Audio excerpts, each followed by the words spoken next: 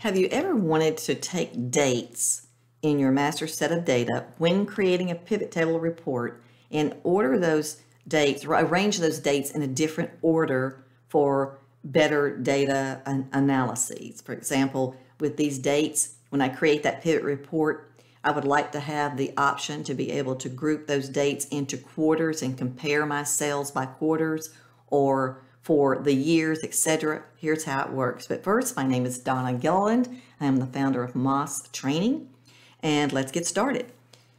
From your data set, you of course would create your pivot table report. This training is specifically on a feature, which is the pivot table grouping feature. I've already created for us a small spreadsheet here. Here's the goal in the pivot table report.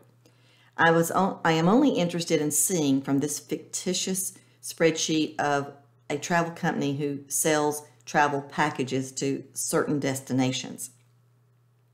In the report, I was only interested in seeing where we've been selling these packages to, the dates we've sold them, and for how much money, total sales. Those are the three fields I've included.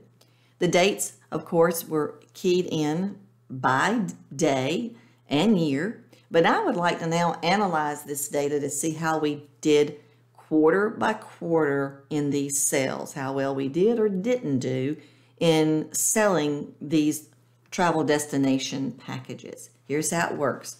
First, two things I want you to remember before we create this and change this grouping. One, this feature is on your Pivot Table Analyze ribbon. That ribbon is only active if you are active inside your pivot table. Number two, uh, another very important point, and then we'll go on to the steps, is that you must be in a field of date or time type to have the options for grouping different ways. On your pivot table analyze ribbon, working from left to right, you have a third group from the left that has three grouping choices. They are active on my screen at this moment because I am in a cell of date type. But when I move out of that cell of date type, in your case it might be times that you are grouping, those options are no longer an option. I'll go back and activate the cell that has a date. Now here's how we're going to group. Choose the option Group Field. When the dialog box appears, the first thing you're seeing are the date ranges within your data.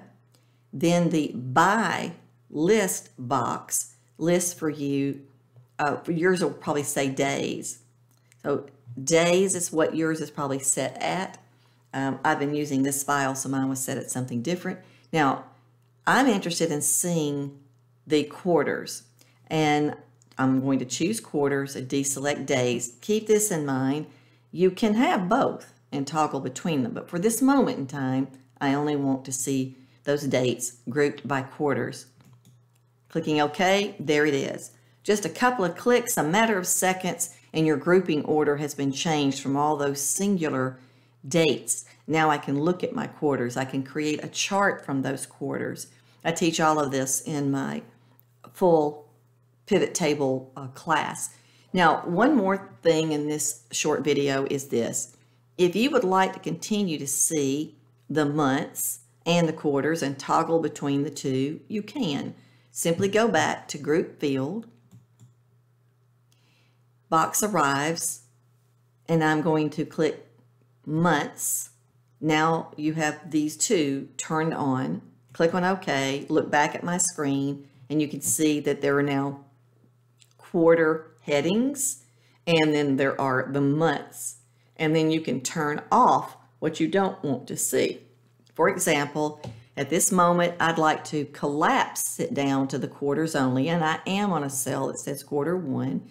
And from here, from your pivot table analyze ribbon, in the group of tools that says active field, there is a choice for collapse field. And because I'm in a quarter field, Everything below it is collapsed and I'm now seeing just the quarters. That's a quick explanation for how to group. I think it's enough to get you going if you did not know all, already about the grouping feature. I hope you found value in this tutorial. I would love to hear your comments. If you're not currently a subscriber of the MOS Training uh, channel, I encourage you to subscribe. So this is uh, it for now, and I'll have more tutorials coming soon. Thank you for watching.